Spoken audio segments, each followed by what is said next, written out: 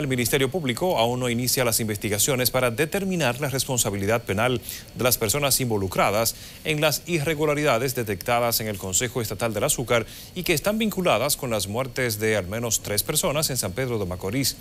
Algunos legisladores advierten que no basta con la designación de un nuevo director en esa institución.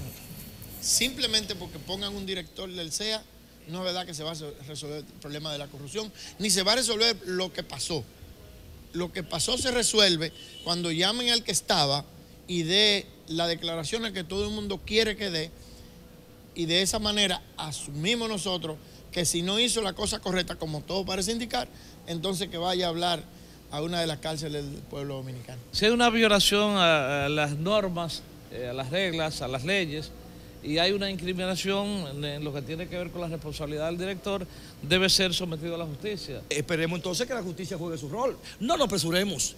Esperemos que la justicia juegue su rol y que al final de la, de la jornada pague el que tenga que pagar.